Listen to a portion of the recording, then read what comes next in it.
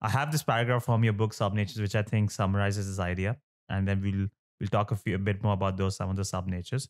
You say in the book that subnatures challenge the reductive and naturalistic aspects of contemporary architecture nature dynamics, promoting a dialectic that radically rethinks both architecture and nature and helps us understand how certain ideas about nature are historically driven, socially and architecturally.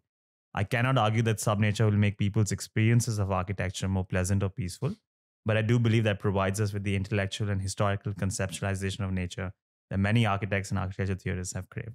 Found that really, really powerful. So you're at its core, if I get it right, you're trying to reduce like these exclusionary aspects of nature and these elements that have traditionally been considered repulsive, like smoke, for example. You're trying to revisit the dialogue around it and try to integrate them into design, right? I mean, I would define subnature as all the as all the kinds of um, uh, forms of natural matter, so to speak, Yeah. very broadly defined, that that get produced in cities and that are seen as um, sometimes people use the word externalities, the unwanted outcomes of industrial modernization and of of modern life.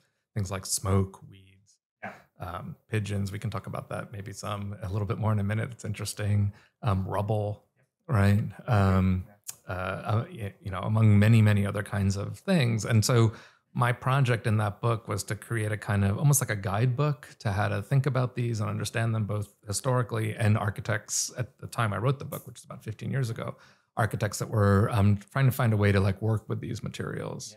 Yeah. Rem Koolhaas had once said that you talk about beauty and you get boring answers, but if you talk about ugliness and things get really interesting. Oh, I like that. I haven't Yeah. heard that before. Yeah, and I think yeah. you've taken that idea and made things really interesting within Yeah. naturalism.